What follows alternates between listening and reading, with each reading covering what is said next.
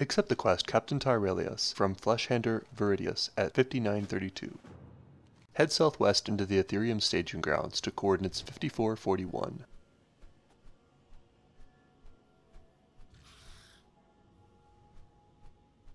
Kill Warden Icoshock and loot the Warden's key from its corpse.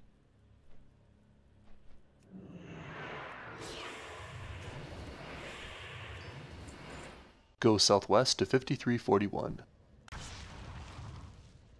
Click on Captain Tyralius' prison to free him.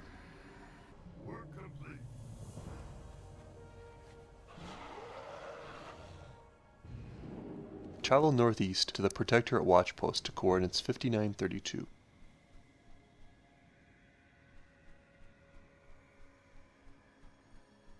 Turn the quest to Flesh Handler Viridius.